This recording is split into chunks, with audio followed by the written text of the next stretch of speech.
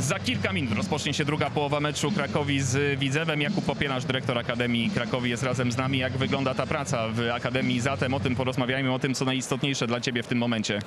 No generalnie muszę przyznać, że po pojawieniu się nowego prezesa pana Mateusza Drużdża myślę, że to jest bardzo dobry moment dla dynamicznego rozwoju e, naszej akademii. E, Stawiamy akademię jako fundamentalną część klubu e, i nie ukrywam